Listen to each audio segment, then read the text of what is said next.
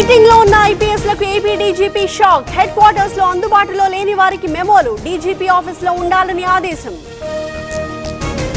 ఎమ్మెల్సీల విషయంలో ప్రభుత్వానికి ఊరట. తెలంగాణ హైకోర్టు ఆదేశాలపై సుప్రీం స్టే. విచారణ నాలుగు వారాల పాటు వాయిదా. హైదరాబాద్ అంటే హైటెక్ సిటీ మాత్రమే కాదు పాత నగరాలను కూడా సర్కార్ గుర్తించాలి. బస్తీల్లో రోడ్లన్నీ ధ్వంసమయ్యాయన్న కిషన్ రెడ్డి.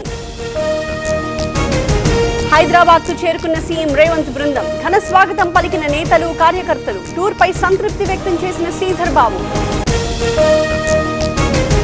ఎనిమిది నెలల్లోనే యాభై వేల కోట్ల అప్పు చేశారు. కాంగ్రెస్ నేతలు చెప్పిన మార్పు ఇదేనా? ప్రజలే కాంగ్రెస్కి బుద్ధి చెబుతారన్న కేటీఆర్. రాజీవ్ను ఉద్దేశపూర్వకంగా అరెస్ట్ చేయలేదు. చట్ట విరుద్ధంగా భూములు కొని అమ్మారు. జోగి తప్పుదోవ పట్టిస్తున్నారన్న పార్థసారథి. కొడుకు అరెస్టుతో కుల రాజకీయాలు. సొంత కులస్తులకు ఉద్యోగాలు ఇప్పించి లక్షలు గుంజారు. జోగి రమేష్ పై వసంత ఆరోపణలు. శ్వేతపత్రాలతో నిందలు మోపే ప్రయత్నం. చంద్రబాబుకు భయం మొదలైంది. రెడ్ బుక్ పాలన కొనసాగుతోందన్న జగన్. మళ్ళీ విశాఖ స్టీల్ ప్లాంట్ కార్మికుల పోరుబాట. ఇరవై రెండున సీఎం కార్యాలయం ఎదుట నిరసన. సెప్టెంబర్లో రాస్తారోకోలకు నిర్ణయం.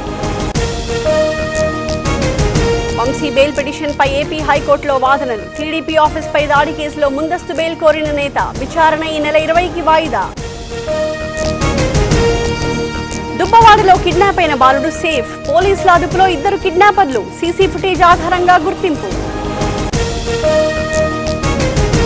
రైతుల ఖాతాల్లో రుణమాఫీ డబ్బులు పడ్డాయా? ఎనిమిది నెలల్లో ఎలాంటి అభివృద్ధి లేదు. హరీష్ రావు వ్యాఖ్యల్లో తప్పే ఉందన్న జగదీష్ రెడ్డి. దువ్వాడ లాంటి వాళ్ళను పెద్దల సభకి పంపుతున్నారు. వైసీపీ అనంతబాబునే సస్పెండ్ చేయలేదు. ఇక దువ్వాడనేం చేస్తుంది అన్న అనిత. దువ్వాడ ఇంటి ఎదుట ఏడో రోజు వాణి నిరసన. మూడు డిమాండ్లకు ఎమ్మెల్సీ అంగీకారం. విడాకులపై వెనక్కి తగ్గేది లేదన్న దువ్వాడ. ఓబీసీ కన్వీనర్గా చేస్తే దేశమంతా తిరుగుతా. పదవులు ముఖ్యం కాదు పార్టీ కోసం పనిచేస్తా. రాహుల్ ప్రధాని కావాలన్నదే లక్ష్యమన్న విహెచ్ నిర్మల్ జిల్లాలో విష జ్వరాల విజృంభణ. రోగులతో ఖానాపూర్ ప్రభుత్వాసుపత్రి కిటకిట. బెడ్స్ సరిపోక ఇబ్బందులు. జాతీయ ఎస్సీ కమిషన్ని కలిసిన వైసీపీ అంబేద్కర్ విగ్రహంపై దాడి చేశారని ఫిర్యాదు.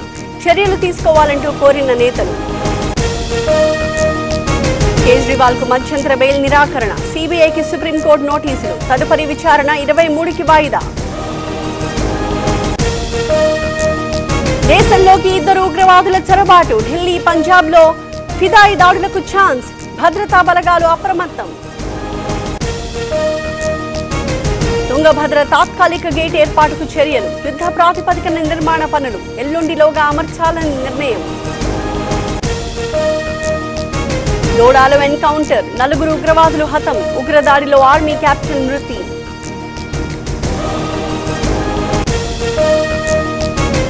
కల్కతాలో జూడా హత్యపై సిబిఐ దర్యాప్తు. హైకోర్టు ఆదేశాలతో విచారణ వేగవంతం. మూడు వారాల్లో నివేదిక ఇవ్వాలని ఆదేశం.